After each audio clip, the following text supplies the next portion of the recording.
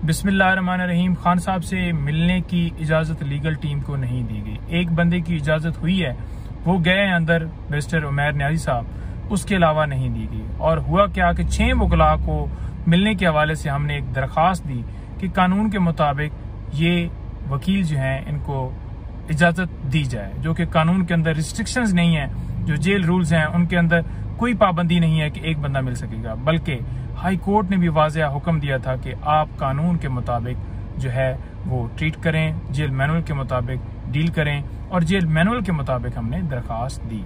हमें कहा गया कि सिर्फ़ और सिर्फ़ एक बंदा आ जाए। हम कह रहे थे कि बैरिस्टर गौर साहब को फिर भेज देते हैं। क्योंकि मेरी मुलाकात ऑलरेडी हो चुकी है तो लिहाजा वो चले जाए। उन्होंने कहा, जी नहीं, मर्ज़ी हमारी चलेगी। गौर साहब नहीं आ सकते, आप ही हैं। कल से बार बार कोशिश कर रहे थे। सुबह मैसेज किए, सुबह कॉल्स की, दिन को कॉल्स की, लेकिन उनकी तरफ़ से मुसलसल जो है इनकार किया गया कि आप सिर्फ़ आ जाएँ।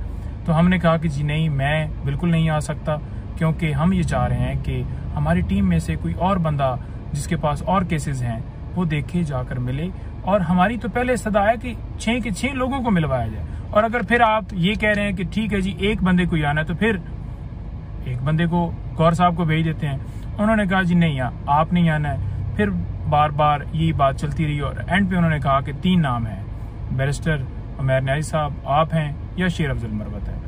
इनमें से कोई बंदा आ जाए और उनकी मुलाकात करवा दीजिए। हमारी सिर्फ़ ये सदा थी कि मर्ज़ी जेल अहकाम की नहीं चलनी कि कौन बंदा मिल सकता है या कौन नहीं। जो बंदा एक्यूज है, उसकी मर्ज़ी चलती है, जो अंदर है, वो खुद कहेगा कि जी, ये बंदा मुझसे मिलने आए या जो उनके कौंसल्स हैं, उनकी फैमिली है, वो बताएगी कि हम मिलना चाहते हैं।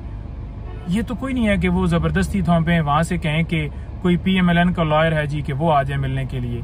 और हफ़्ते में देखें कि ये छह दिन, जैसे कि सोमवार से लेकर हफ़्ते तक पूरा जो हफ़्ता है आप मिल सकते हैं, पाबंदी नहीं है। लेकिन यहाँ पे बाकायदा तौर पर यह कहा गया कि एक दिन मुलाकात करवाइए किस कानून के तहत? कोई ऐसा कानून नहीं है। ज़बरदस्ती वो एक खान साहब को बुनियादी इंसानी हकूक से पहले ही मारूम रखा हुआ है और ऊपर से उनको, जो उनके लॉयर्स हैं, उनको एक्सेस नहीं दी जा रही। उनके जो डॉक्टर हैं, उनकी फैमिली के दीगर मेम्बरान है, या उनकी सियासी जमात के जो लीडरान हैं, उनको मिलने के हवाले से भी हमने लिस्ट दी हुई है। उनको भी मिलने की इजाज़त नहीं है। तो उनके साथ कानून के मुताबिक सलूक होना चाहिए। ये बिल्कुल ज़्यादा है और आला अदलिया को इसके ऊपर नोटिस लेना चाहिए।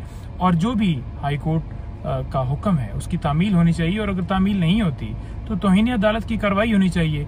ये इस तरह आप जो है वकला को गेट के ऊपर खड़ा करके और उन्हें मिलने की इजाज़त ही ना दी जाए, उनकी लीगल टीम की तो ये मतलब कितनी नाइंसाफी है। Thank you.